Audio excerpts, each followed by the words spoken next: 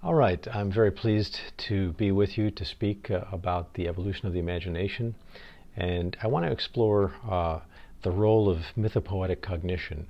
And I think um, people understand the idea that human beings are story making creatures uh, and image making creatures. And I think it's very common for people to understand that the imagination is available to many of us, if not all of us. Uh, but I'm going to be making sort of a stronger pitch for the imagination as a kind of cognitive operating system, and that we've grasped it piecemeal and understood bits and pieces of it, but we need to sort of move it to the front and center of consciousness cognition. I'll just give you a quick uh, tour of what I've been up to for the last 10 years or so. I've been writing a series of books that are roughly, you know, built around the idea of the imagination. And about 10 years ago, I wrote a book called On Monsters, uh, An Unnatural History of Our Worst Fears. And the, the topic of that is fairly self explanatory. Um, and then I wrote this book, The Evolution of Imagination. Some of the ideas that I'm going to be talking with you today about uh, come out of that text, uh, but i am also sort of steering us in some different directions today as well. And then I wrote a kind of Darwinian defense of religion as an adaptive uh, cultural apparatus that, in particular, um, is very good at helping human beings manage their emotional lives. And so that book, Why We Need Religion, came out a couple years ago. And finally, um, with uh, my colleague Rami Gabriel, we've written a kind of uh, an extension of affective neuroscience, uh, sort of originally hatched by our, you know, our mentor, uh, Dr. Jaak Panksepp, uh, we're, we're extending out his sort of seven systems of mammalian uh, emotion or affective systems all the way out, out into human cognition and up a ladder to human culture. So it's a very, you know, ambitious, uh, imperfect uh, project, but uh, I'm proud of that when that came out last year. Um, what I want to do today, though, is focus in on the imagination. And let's start with a brief taxonomy of imagination. Uh, the one that I think most of us know best is probably the first one, which is that imagination is art and entertainment, free playing images and narratives. If we see the work of Walt Disney or Hayao Miyazaki, uh, we see highly imaginative work. We recognize this as being part of the entertainment industry, part of the arts industry, and some people sort of see uh, that that's sort of the end of the imagination. Uh, on the other hand, if a little bit of reflection reveals that it's also very powerful in terms of moral intuition pumps. The dreaded trolley car problem is, after all, a imaginative uh, thought experiment which is designed to try to get access to our moral intuitions and to guide and shape those intuitions. So I think the role of imagination in moral thinking doesn't quite get the uh, attention that it should. It's also extremely powerful in the scientific um, domain. And this is forgotten because we're often focused on, uh, when teaching science, for example, we teach the hypothetical deductive model, which is the formational hypothesis, the derivation of deductions, test it, either the thing, you know, corroborates your hypothesis or it fails and you throw it out. Every good scientist knows that that's not really, it doesn't work that way. It's certainly not that simple. And the imagination has a big role to play, even in things like um, you know, the Turing test, um, trying to figure out when would we know whether uh, AI had achieved consciousness. Religious creativity also, once you reflect on it for a moment, you can see that it's some of our oldest human culture and it's highly imaginative stuff. Uh, if you are of a particular religion, it's kind of ironic that you, you have a hard time seeing the imagination at work in your own religion, but you can readily recognize it in other people's religions. And so that's kind of a humorous, uh, ironic point.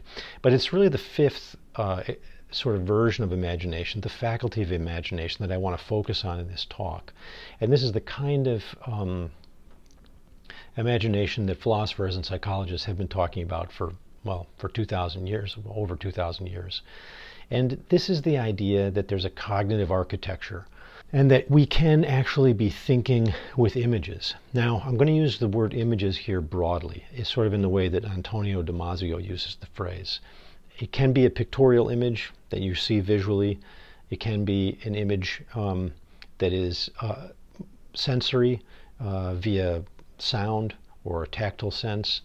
Um, I tend to sort of emphasize the, the, the visual imagery, um, but uh, I think you'll see that it, it, extrapolates in most cases pretty easily. So if you look at the traditional view of imagination that somebody like Plato would have formulated, he said, well, uh, developing images and working with images is really just copying nature and then taking these derivative copies of nature and playing with them. And as a result of it, he thought it had very little to do with knowledge and very little to do with reality. Aristotle, on the other hand, said actually the imagination has everything to do with knowledge, and it's a kind of synthesizing faculty. It takes individual sensory experiences, uh, um, let's say different experiences with birds, um, and then it helps weave that together into uh, prototypical concepts. And then we can use these prototypical concepts to think with, to recognize other creatures as birds, to define what it is to be a bird, to rank order the birds. If I say to you, imagine a bird right now, most people living, you know, in Europe or in the, you know, the United States would probably imagine something like a robin, a starling, maybe a, a raven, a, a blackbird.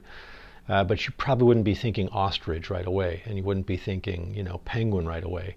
So there's a sense in which at the center of your concept of bird is probably the kind of bird that you've experienced repeatedly growing up. And then, like spokes on a wheel, you will find uh, radiating off of that the idea of different kinds of birds. And some of them are very far from the, the radial hub. Some birds don't fly, for example, most do. Um, then Immanuel Kant comes along and sort of restates Aristotle's view from a modern point of, point of view. And he says that, look, there's a kind of processor he doesn't use this language, but uh, he, essentially it, it's what he's doing is he's saying there's a kind of processor within every human mind that has the ability to take individual uh, sensory data and weave them together with concepts. And so you're marrying, you're marrying percepts and concepts. And this uh, has then, I think, been continued more recently uh, by uh, my teacher, Mark Johnson, for example, and others. I see myself in this tradition uh, namely the embodied cognition tradition. In what way is imagination kind of embodied cognition? Well, I like to use the 5E designation rather than the 4E, and you'll see that that means that the mind is embodied, extended, embedded, enactive, and the one that's often left off is emotional. And what does this mean? It means that the mind is really using images uh, to think with. Uh, we're projecting them um, into possible futures. Um, we're ruminating on them. We're compositionally composing them, uh, analyzing and breaking them down. We're using metaphors, fairly embodied metaphors like that have to do with the positioning of our bodies and how it relates to the world to try to understand much more complicated kinds of things and experiences. Um, affect and emotion, highly embodied. There's, there's a feeling state or a somatic marker connected with, I would, I would argue, almost every experience that human beings have. And then affordances. Um, we are reading, uh, just like animals read the affordances of the, their environment, they can see what kind of trees are climb upable, what kinds of trees are not. Human beings are also um, seeing as. They're loaded within the perception itself is um, informational data. And all of this is to say that the imagination is a kind of pre-linguistic system of meaning. It's the activity or the functioning of the 5E.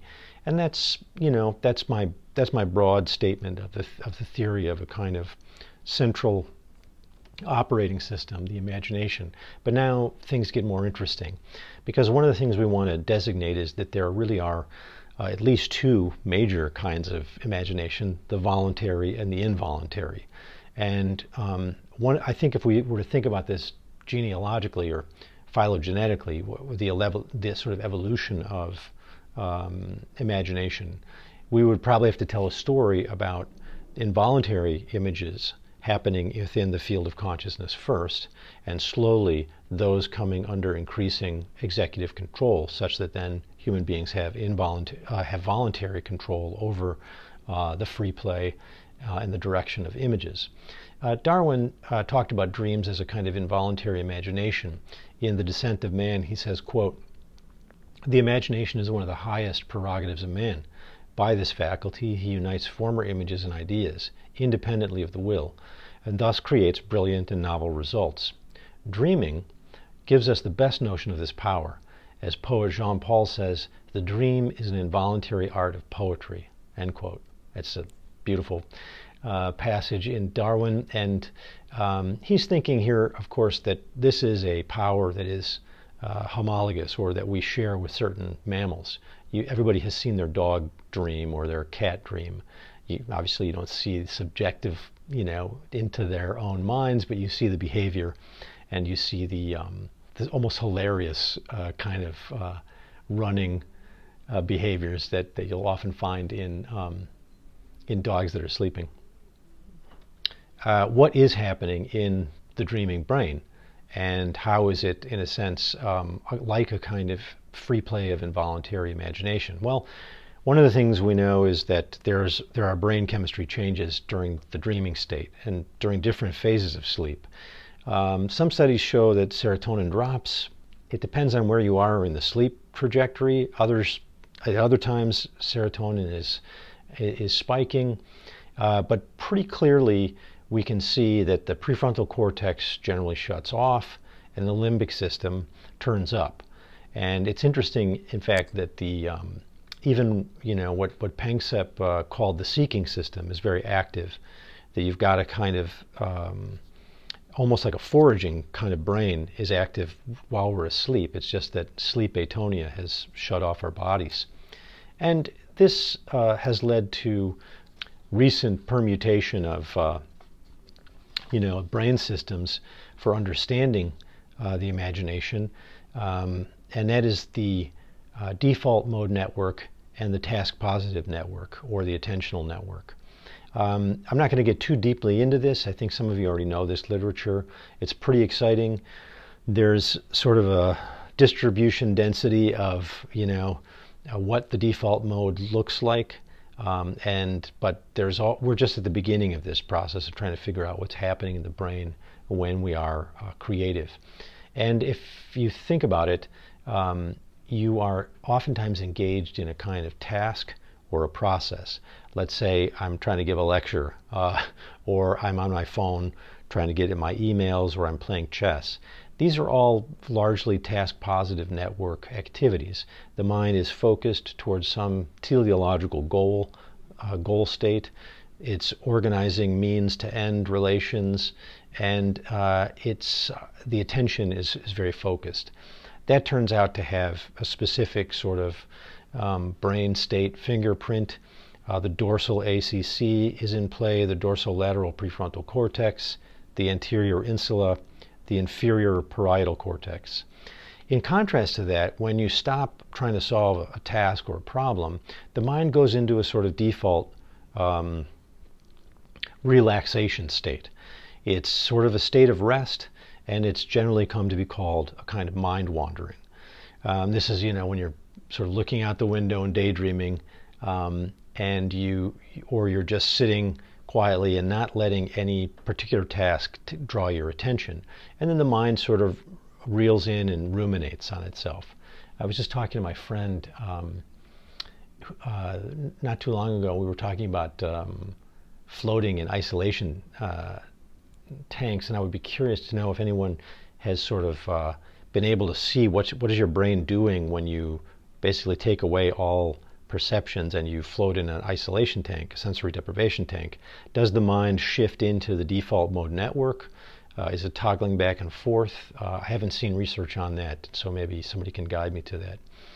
Um, all right, the the uh, default mode network is comprised of um, a sort of uh, circuit between the anterior cingulate cortex, the posterior cingulate cortex, uh, the medial temporal lobe, uh, the medial prefrontal cortex. And so you can see this happening in sort of in the fMRI studies of people doing these different kinds of tasks. Now, what's exciting is that very recent research has just uh, started to show that the, the dreaming uh, state of brain state is really identical or very similar to a kind of intensified mind wandering, the default mode network. So when you're in REM sleep, it's a lot like when you're engaged in a kind of quiet brainstorming or mind wandering. Uh, now, this research is is complicated in terms of trying to interpret what it means. So I remember when when uh, the D the DMN first uh, started to get a lot of attention. Generally, it was being associated with what uh, psychologists would have called uh, flow states, um, and uh, the idea that there was there was just a kind of stream of consciousness, and you were the self was sort of disappeared into this uh, blooming, buzzing confusion, as uh, as William James might have said. But more recently, I've seen a lot of research uh, suggesting that actually the the self um, can become really a central figure in um, the DMN because of this kind of autobiographical rumination. You're thinking about what you've did before, what you're going to do. It becomes very um, uh, it's almost like episodic memory. You end up being a rather large feature of the DMN. Now, what to make of this? Um, when it first came out, the, the DMN, I thought the DMN would probably be like mindfulness because in the Buddhist state of mindfulness, one's trying to just bring the mind, you know, to, to be here now into the present moment and not sort of be focused on, you know, particular teleological tasks like solving a chess game or something. But interestingly enough, the few studies that I have seen uh, have on on really good meditators suggest that when the monk is meditating, and these are you know virtuoso meditators, uh, their mind is actually more in the TPN, the task positive network, which uh, when I, I, was talking to a Zen monk about this, and he actually said, "Well, yeah, basically, of course, because it's really hard to do. It's not at all easy to keep your mind in the present moment and stop your mind from uh, wandering. So this is just a fun area that's developing sort of in real time. Something we do know fairly clearly, though, is that um, shutting off the dorsolateral prefrontal cortex, which you see here in in this uh, sort of purple grayed out area, this is crucial for creating the transient hypofrontality, which which all this means is basically you're you're taking the brake off the brain that um, and this allows for the mind to go into a more associational and a more um, default mode type of creative uh, status. Um, at, when you um, quiet the dorsolateral prefrontal cortex, the orbital frontal um, prefrontal cortex and the ventromedial are, are activated, this seems to be what um, it looks like when you're being imaginative and when you're being creative. There's a wonderful study by um, a neuroscientist named Charles Limb. Some of you may have seen this uh, this work. He's been doing work on music, and you can see uh, the brain uh, fMRI uh, sort of map of this brain shows the dorsolateral prefrontal cortex shut off, and those other brain areas at the front and the sort of inside front of the brain are heavily activated. And this is when uh, a musician is actually improvising inside the fMRI machine. He built this little keyboard to keep track of it. And um, this is exciting because when he had musicians do um, written pieces, uh, either like sight reading music or uh, playing Bach from memory, then the dorsolateral prefrontal cortex was active. And it was only during this improvisational abil- sort of uh, uh, musical style where you got the switch uh, to a different sort of what looks like a different brain system. So, you know, human beings, particularly artists, have been trying to disengage the brain brake uh, for many years. Uh, most recently, we've got the transcranial magnet interference, and if you put this on the dorsolateral prefrontal co- cortex and basically compromise it, then um, and then you ask people to solve creativity problems immediately afterwards, while the, the, the dorsolateral prefrontal cortex is kind of confused, so to speak. They end up having they end up being very successful at lateral thinking. It, there's something about uh, disengaging this part of the brain which takes you out of the traditional routine style of thinking and processing that you'll find in the task positive brain. And that's sort of, you know, that's what it means by, you know, when we say things like, oh, well, she's thinking outside the box. These metaphors are trying to express something like this. Now, what are the traditional techniques for disengaging the brakes?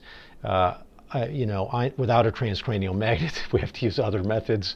And Einstein very famously said that uh, once he'd been exhausted by a problem that he was working on, and he wasn't getting anywhere, he would just stop and set it aside and go bike riding or, or hiking and try to basically take his mind off it altogether.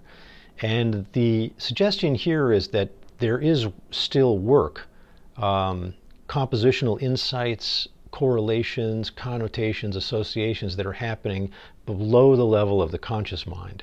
So the argument here is that there's a kind of subconscious activity that's still happening and is putting together novel combinations of either mathematics or theories or images. And then all of a sudden, this stuff seems to emerge uh, back into the conscious mind and presents itself as a kind of solution, um, or at least some fruitful direction. Um, there's a fun uh, artist who I really like named Shaun Tan. He's Australian, and he was saying that uh, as a as a visual artist, he feels like, and he's very imaginative.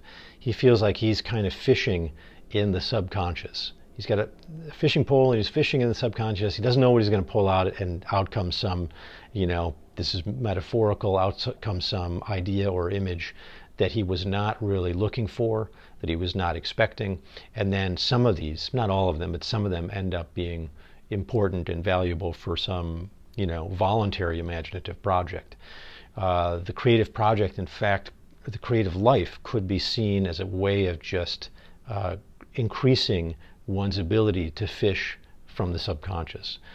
Um, uh, of course, uh, the classic uh, artists like uh, Toulouse-Lautrec, Van Gogh, and so forth were drinking uh, what they called the Green Fairy, which was absinthe, and of course now psychedelics. And so I do want to sort of guide the conversation. There'll be a little deviation here towards uh, psychedelics, both in terms of my own experience and also, I think, some um, philosophical sort of conceptual engineering regarding them. Um, and in order to get there, let's start with uh, cultures for disengaging the brakes. So just like there are substances for disengaging the brakes, like psilocybin, just like there are activities like going into nature for hikes and so forth, so too there are whole cultural reservoirs devoted to disengaging the brake. I'm going to mention three of them. We'll look at a couple of these just briefly because it's kind of it's kind of helpful to understand that this is not just an individual psychological project, but also a cultural project. If you look on the left-hand side of the slide, uh, one of the great uh, sort of unbraked uh, imaginative cultures is Hermetica, which is the magic tradition. And this is the tradition that's at least 2,000 years old. Uh, the Renaissance um, uh, philosophers and uh, historians like Ficino thought it was much older and back into the Egyptian uh, culture, but it's probably only uh, from the time period of the Neoplatonists in the Common Era, probably around the third century. In any case, the view of Hermetic um, culture is that the mind is really operating best when it's just looking for associational connections. Um, and I'll talk about that more in a moment. Um, and they, they saw the imagination as absolutely crucial to knowledge and um, to the fulfilled, flourishing human life. The other, another sort of way of disengaging the brake, of course, is ecstatic catharsis. Um, and I just recently reread Euripides the Bacchae, and it was very disturbing. I, I had read it a long time ago and forgot how disturbing it was. One of the things that, of course, we have to remember if you take away, you know, the rational task positive mind um, and you let loose the subconscious, maybe maybe the subcortical processing. Um, what are you going to find there? Well, it's not all uh, you know sunshine and daisies. There's some fairly ugly stuff there. I don't care if you're a Freudian or um, uh, or, or just somebody who does uh, psychoanalytic um, neuroscience, like Mark Solms at, uh, at uh, in South Africa there's some fairly ugly stuff in the uh, basement of the psyche. And here's an example of uh, Pentheus, the main character of the Bacchae, uh, being ripped to pieces by his own mother um, because they've essentially peeled, they've taken the brake off in a radical way. And it, I guess I should mention here in my own it's anecdotal, but in my own experiments with psychedelics, uh, I spent a lot of time in this part of the mind. Um, and one needs to remember that uh, there's a lot of uh, ugliness, aggression, uh, lust, all of the features of the id, you know, available there. And so um, that's why the, the psychedelic adventure has to be so carefully, you know, structured by in a clinical setting, I think, or at least careful. And another way of disengaging the brake, of course, is the Zen tradition uh, or the Buddhist tradition generally of emptiness. What is it like when you stop solving uh, problems from the task positive point of view and you clear your mind? Not just allowing the free floating imagery of, say, the Hermetic tradition, uh, but actually try to cleanse the mind altogether of content. Um, so let me just say a couple of words about Hermetica and then Zen, and then we'll push on. Um, the Hermetic tradition basically sees everything as something else. And so the body is a map of the solar system and vice versa. And, you know, as above, so below. This is a view that has a lot to do with Neoplatonic metaphysics, where the one is essentially emanating reality from it all the way down to us, and it's our job uh, to use the imagination to both understand the connections between things and to try to create um, new connections. So, intuitive insight is prized because it's synthetic and creative. It's prized over discursive deduction, which is analytic and destructive. Imagination creates new realities, and therefore it's been associated with the divine. This is sort of the divine spark within human beings. And then also, one of the things I really like about Hermetic uh, traditions is that the, the image remains a crucial feature of knowledge. Uh, thought pictures are ways to reach upward from the senses to the intellect.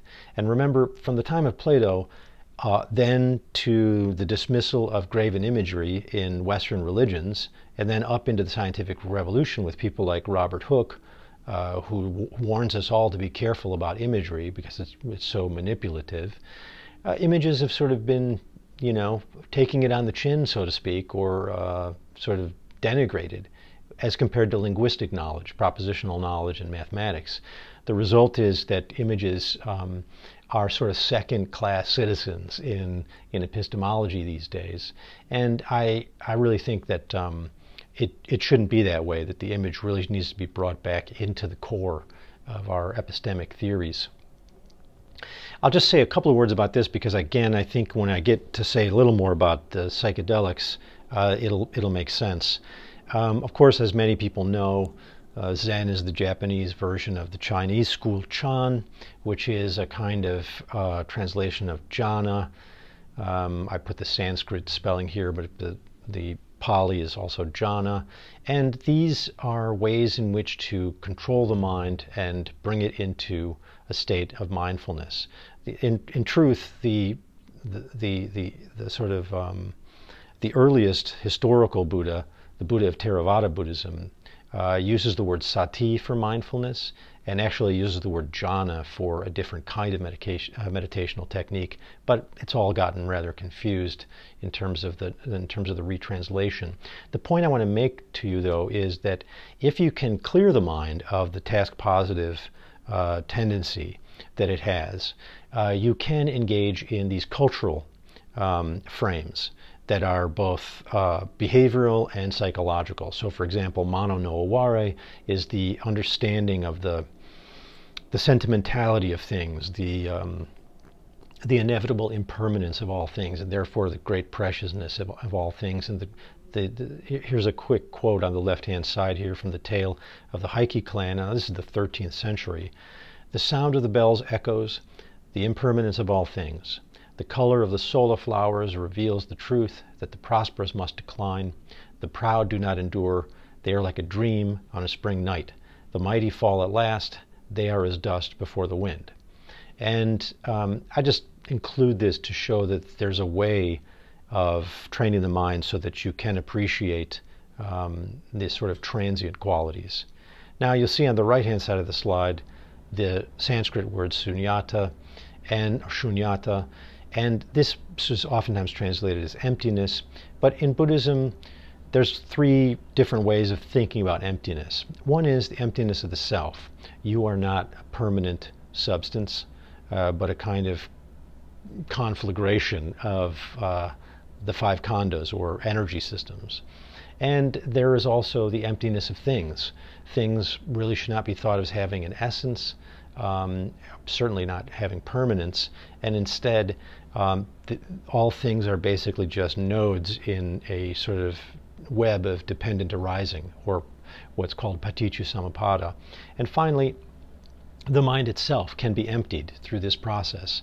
And this is called bhavana or mental cultivation or prabhasvara chitta, which is a sort of cleansing of the content of mind. And this, I think, is an exciting uh, point because you're going to see that even though this is not imagination as we ordinarily think of it, it is a radical way of taking the brain brake and, uh, off uh, it's sort of interesting to contrast uh, the Zen tradition of emptiness with the Tibetan tradition or the Bhutanese tradition, which is highly imaginative and uses the imagination as a kind of um, uh, creative visualization and meditation. All right, so let's turn then to psychedelic investigation. Uh, finding cognitive universals? Question mark. This is um, I, am going to do a bit of a, a, sort of a, uh, a, pause or a hover here on some interesting questions uh, about, you know, what is innate in the mind and what is the result of experience. And uh, this probably has little benefit for the clinician, but it might. I, I don't know. Uh, that that not being my my area. Um, okay, let's look at these three areas. Uh, one, we want to know is there imaginative and ideational content? if you take ayahuasca or psilocybin, in my case, I did a fair amount of LSD when I was in college. Um, the interesting question is does one there discover uh, narrative universals where everyone ultimately could see below the kind of cultural acc- accretions some kind of narrative universal that everyone would, would agree to? And of course, you know, some um, sort of Jungian archetypes uh, are basically attempts to to um, to clarify or to to assert such a discovery. Um, are there image universals? Not just, uh, you know, if you think about mythopoiesis, it's not just linguistic uh, stories, it's also images. So, do people, in fact, see similar imagery?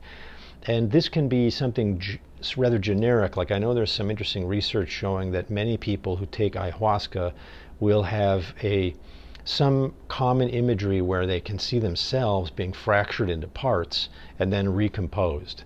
Now, uh, I don't know, but that's the sort of thing I'm driving at here. Some people who are, you know, devotees of alchemy will say that the actual images of alchemy will emerge. Here, I'm going to ar- argue that I'm a bit bit uh, skeptical or dubious on that front. Are there conceptual universals that one finds during these altered states? Two, is a category that's quite different, although these are all interrelated with each other. So, two is basically what about cognitive architecture?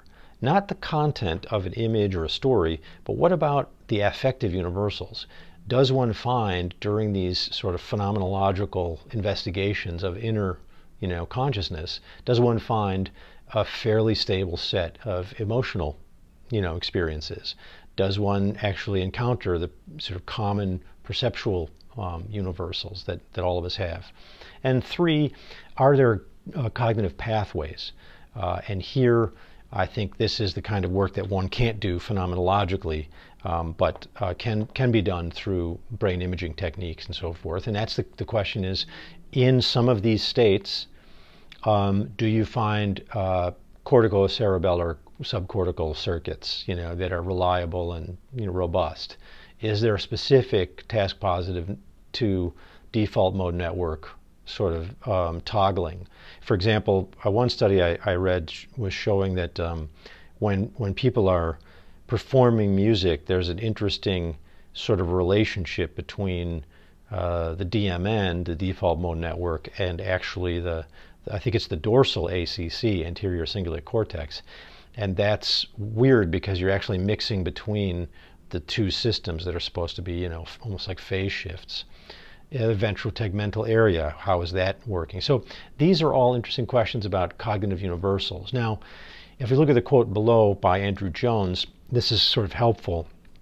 He points out there are two broad views in current psychedelics research. According to mind manifesting views, psychedelics are therapeutically valuable because they facilitate access to unconscious material. Alternatively, according to mind modifying views, psychedelics produce benefit by disrupting rigid thought patterns and increasing psychological flexibility. However, these views are sometimes conflated in current research.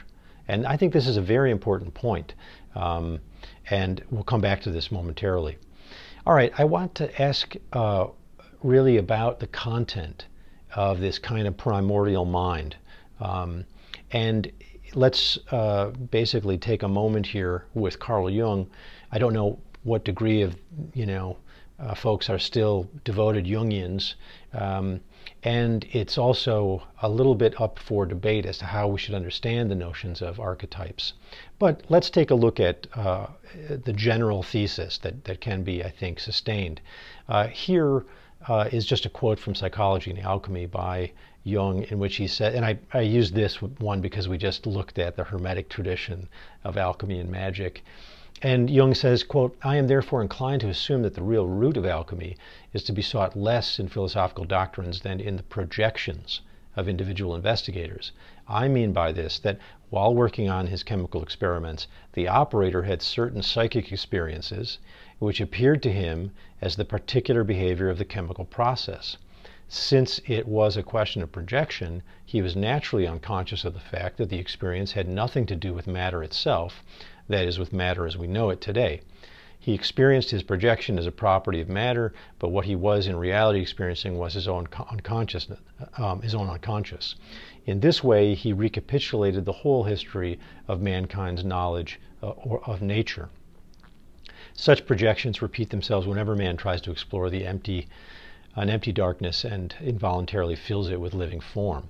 So Jung had a notion of primordial images, and there's a there's a list that would include things like the shadow, the anima, animus, the mother, the trickster, the hero. I have no particular um, uh, conviction on this or horse in this race, but I'm just trying to show you what I think some of the problems might be. If you think that there is some kind of genetic memory, you, you have to wrestle with what I'm calling the content problem. And the problem is basically this A, there's no inheritance of acquired, acquired traits. And I say this fully aware that uh, epigenetics is now uh, presenting us with some very interesting facts about the ability of an organism to pass down things like metabolic rate processing, like tendencies towards obesity and so forth. Um, there's even been some studies of mice that suggest that fear of like uh, a certain smell can be passed down to um, further generations. So the jury's out on that, but at least it's something that has to be articulated and cleared up. Um, B, uh, there's no evidence of innate content. Uh, and here, there is some evidence of innate content, but it's not uh, like images. It's not like you're going to every human being is going to have a trip and see you know the raven attacking a dog or something.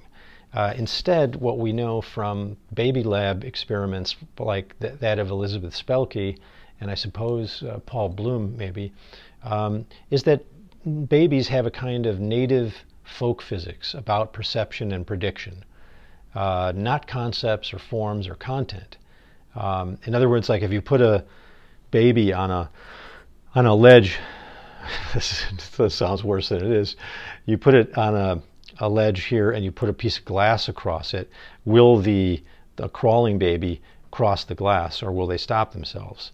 And universally, they sort of stop themselves because they seem to understand right away that there's some danger there.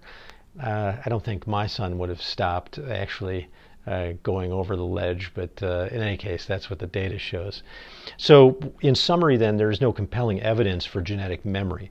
So, the idea that psychedelics and certain techniques that we've been describe- describing here in the culture of, uh, of, of, removing the brake of transient hypofrontality, do not really uh, seem to deliver up much in terms of genetic memory. However, um, I do think that uh, much of what's been attributed to phylogeny is in fact discoverable in ontogeny, the development of the child, uh, the, the, child's mind. And so it's pretty clear um, that human beings are extremely good at social learning. And we know now there's a lot of empirical evidence that human beings really, yet from a very early age, they really attend to what another human being is doing particularly their parents at the early age, they absorb this information and they're able to basically mimic it and simulate it. So simulation, mimicry, and conditioning, humans are great at that.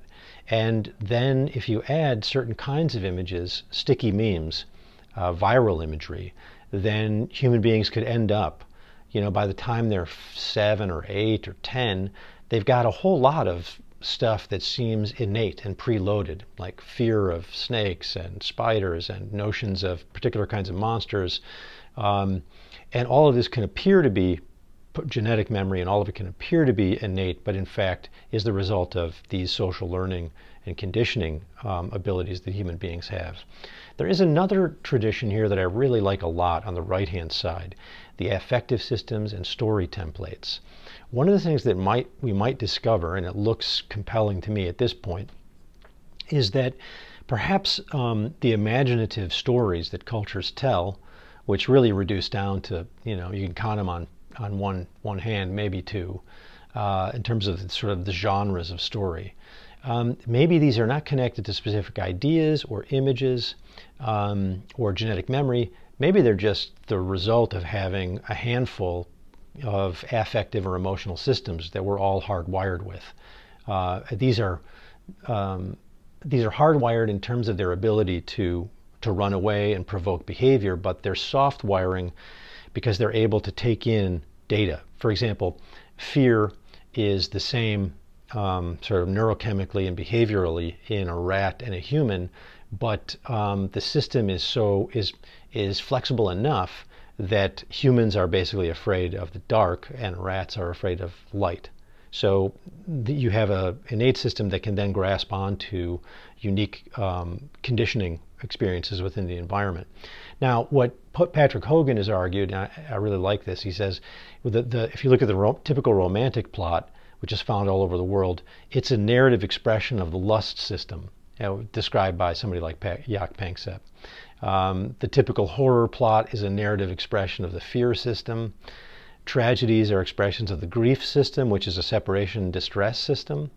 And mysteries and hero stories enact the seeking system, or what Kent, Kent Berridge at University of Michigan would call the wanting system. And this is connected in many ways to addiction as well. So these are exciting ways in which the imagination could be a kind of core operating system that is flexible enough to take in uh, information and data, but also has innate or native uh, tendencies. So uh, this has gotten me to look a lot at universal grammars of, of imagination. Uh, we're familiar with the idea that, that language may have a deep grammar from the time of, of uh, you know Chomsky down to the present. There's a there's clearly a, a set of scholars devoted to the idea of a gen, deep generative grammar. I want to submit that the same is true of images. And I was looking at images, and you find all over the world and all through history that hybridizing is a fairly common way in which we create these sticky memes that then cultures um, sort of coalesce around. So, for example, Ganesh is part um, elephant head and human.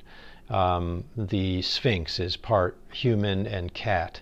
Uh, the lower left-hand image is an image of uh, uh, Enkidu and uh, Gilgamesh killing Humbaba, which is a which is a cogn- which is a hybrid creature of different animals. And then there in the lower right hand corner is the Lion Man um, at, from a German cave. Uh, I think this is maybe 35, 40,000 years old.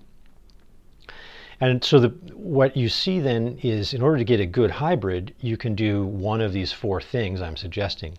You can multiply parts, you can blend taxonomic categories, you can do domain crossing, and uh, you can blend metaphysical categories.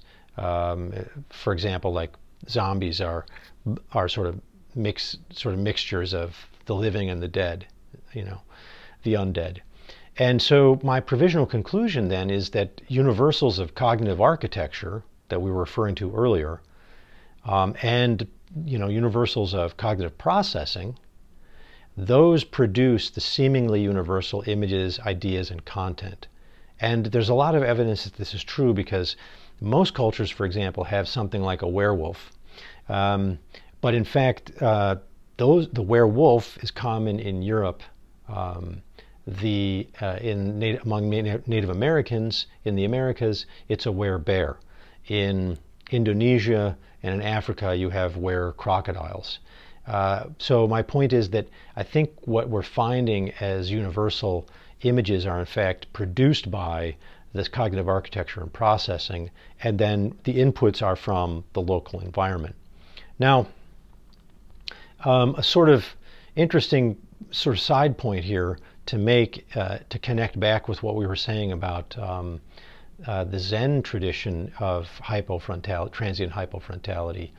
Uh, what I want to say here is my argument so far suggests uh, that we will look in vain for specific innate image content in the mind manifesting and the mind modifying uses of psychedelics. The specific symbology of alchemy, for example, is unlikely to be found within unless you've already put it there. And that, that is actually an interesting point, too. But Zen culture, meditation, and psychedelic experiences do seem to produce universals, in part because they empty content altogether.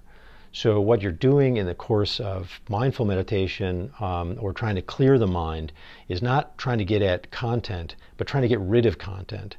And that, the resulting experience, might indeed be one of the most universal experiences that people, you know, um, using psychedelics and other forms of ecstatic um, intervention will, will discover. And so here I, I, I, say here in the second paragraph, in the religious imagination, conceptual thinking drives theology and makes possible a more systematic representation of universals. Before these modes of representation, however, lies what Piaget and Inhelder called the adualism of the child, the state of consciousness before an integrated self. The distinction or boundary between self and world is not an early datum for the infant, it emerges slowly through experience. And Robert Bellah says, calls this the unitive experience, and suggests that it precedes the more content rich representational modes, serving as a crucial touchstone for later religious thought. Um, because what we're talking about is basically the experience of transcendence. Bellah says, quote, the unitive event, then, is a kind of ground zero with respect to uh, religious representations. It transcends them, yet it requires them if it is to be communicable at all. Christian negative theology and the Buddhist teaching of emptiness, uh, shunyata, attempt to express this paradoxically by speaking of nothingness, the void, silence, or emptiness. And uh, I just find this kind of exciting because it, it shows me that there's an interesting connection between the religious imagination, in particular Buddhist meditation, um, and the psychedelic kinds of investigations that are happening. Let's ask ourselves the um, adaptive question uh, about fitness. If imagination is an illusion maker or a counterfactual generator, uh, why do we have it? Well, hopefully, I've already established that the imagination is much more than that. Uh, that's generally how the problem was characterized in the 1990s. Uh, you may recall that Steven Pinker famously said, you know, the imagination is really, I think he made this comment about music uh, in specific, but the imagination generally. He said it was a kind of cognitive cheesecake. Uh, it's what you get as an evolutionary byproduct of having a really good problem solving brain. Uh, that's the adaptation, and then imagination sort of comes along for the ride. Um, the alternative view, and it's one that I um, basically hold to is that no, the imagination itself is an evolutionary adaptation. In what sense is it an adaptation? Well, the mind is an adaptive prediction processor. And this is kind of um, an, an, idea that comes out of Kant. It's there sort of nascent in, in Kant's ideas. He's not thinking sort of evolutionarily. Uh, but then Andy Clark gives full expression to it in the last uh, five, maybe ten years.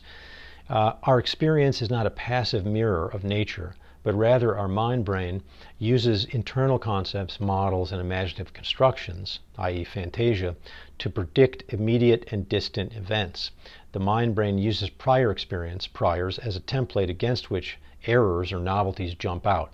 Now, Andy Clark is not really talking much about the imagination. I've sort of imported that in here because I think that my view of the imagination will dovetail nicely with predictive processing theories. I will call your attention on the right hand side to some deviations in my view. One is uh, imagination is a 5E processor of, of templates pictorial, dramatic, mythopoetic, generally speaking.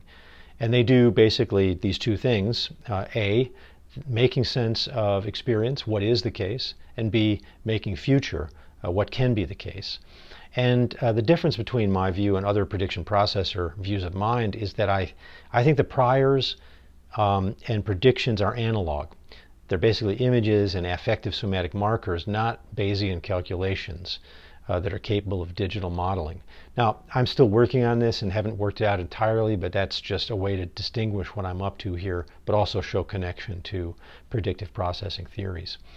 All right. Um, my view really is that there's a kind of mythopoetic cognition that I've been describing here throughout this talk.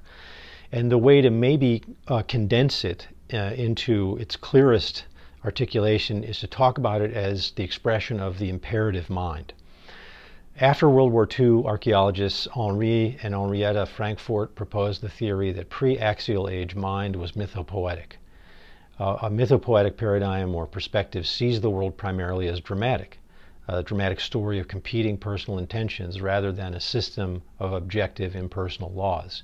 So the river can be mad at you. The weather can be pleased with your sacrifice. Uh, the trees can be your friends, uh, and so on. And so, according to this view, nature is not an it, but a thou.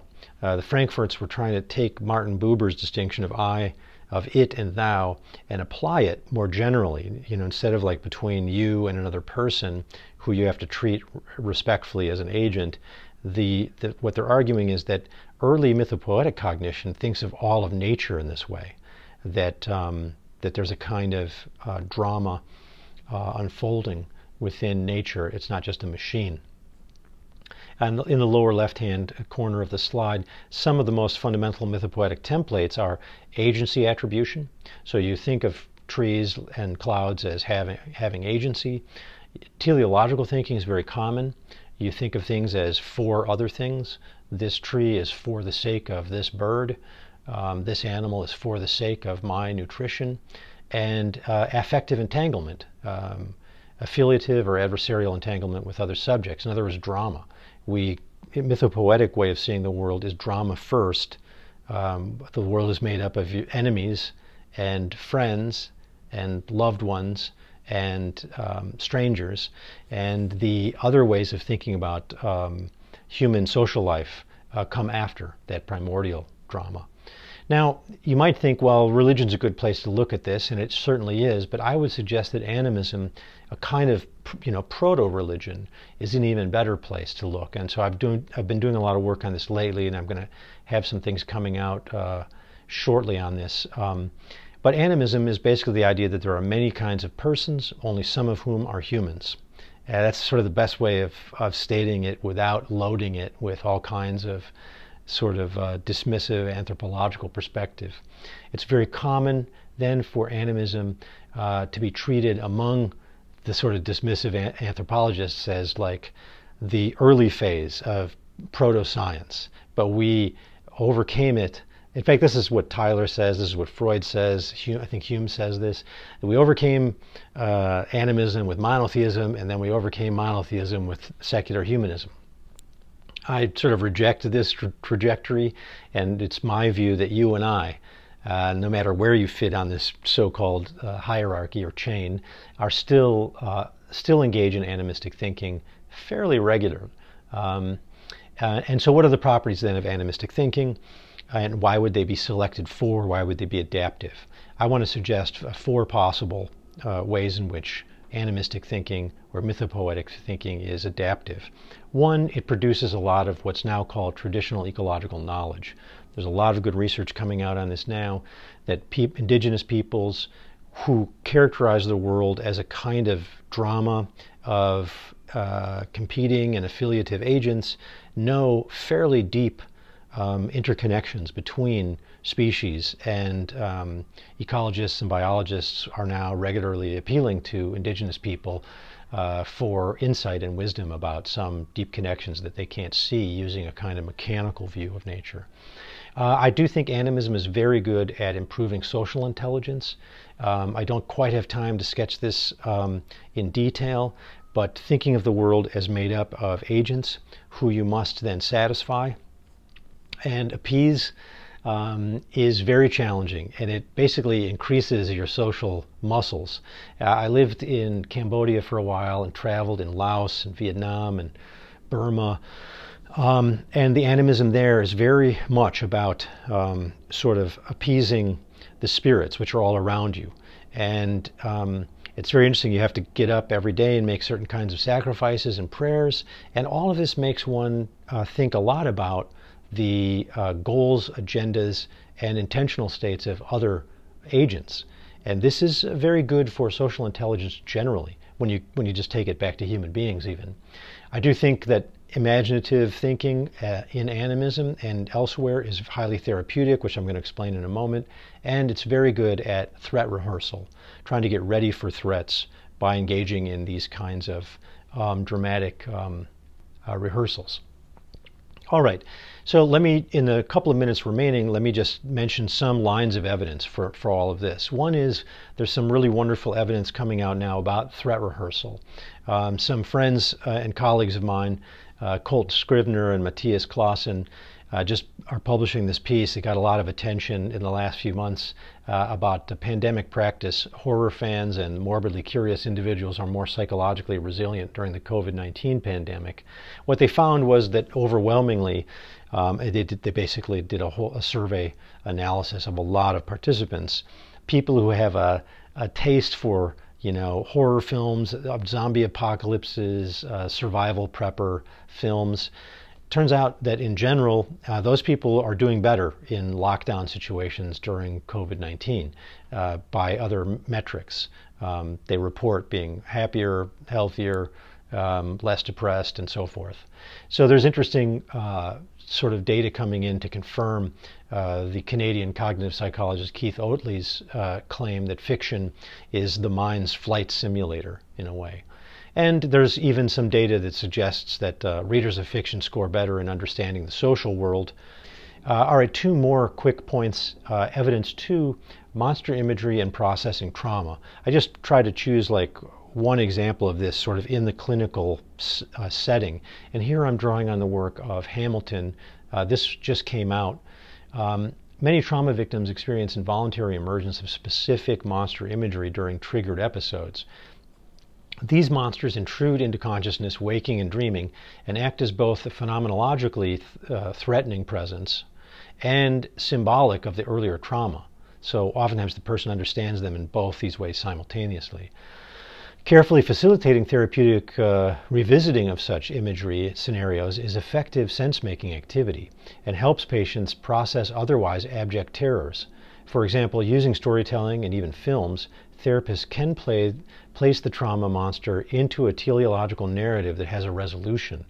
You can defeat the monster, repudiation, acceptance, transformation, and so on.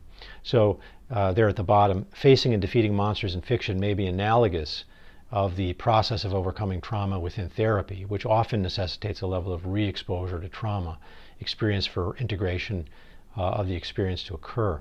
And lastly, here's where I'll, I'll bring the discussion to a close, uh, or the, the presentation to a close, and that is um, I, I, offer you one more piece of evidence of the adaptive power of the imagination, and it's from uh, musician Nick Cave. Uh, he very tragically lost his son. His son fell off of a cliff and died as a result of his head injuries. Um, that happened several years ago, and Nick Cave fell into a deep depression and uh, really could not function really. Now, he Nick Cave runs a uh, website where he actually answers questions from his fans, and he's very honest and generous with his uh, time there. And I recently came across this. Um, someone else had lost a loved one and was appealing to Nick Cave to, for some kind of help to try to process it and, and make sense of it. And he, I, this is a long quote, but it really, I promise you, it's worth it. Uh, we'll end on this. Here's what Nick Cave says. He says, My well meaning and desperately worried friends would speak uh, into my grief using words that made no sense. They would tell me that my son lived in my heart, for example. But when I searched my heart, I found nothing but chaos and despair. One desperate morning, however, I did the most simple of things, and perhaps this can help you with the loss of your wife and your brother. I sat by myself in a quiet space and called upon my son by name. I closed my eyes and imagined lifting him from my heart, this tormented place in which I was told he lived, and I positioned him outside of my body, next to me. Beside me, I said, You are my son, and now you are beside me. These few words had a powerful vibrational effect, and this simple act of imagination was the first step in a process that would eventually lead me back to the world. By performing this act, I was temporarily released from the relational, from the rational world, a merciless place that gave me no peace, and given access to an impossible realm where I could form an increasingly resolute relationship with the spiritual idea of my lost child. I began to feel Arthur's presence. I talked to him. He talked to me. I took him with me wherever I went. I toured Europe and America uh, with the In Conversation show, and he sat with me in my dressing room or later at night in my hotel, or he escorted me onto the stage and stood there beside me. I felt emboldened by his constructed presence, or perhaps true presence, who knows? What did it matter?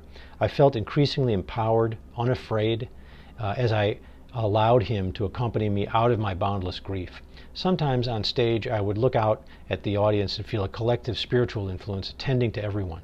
It was a deeply powerful experience and testament to the restorative force of our imaginings.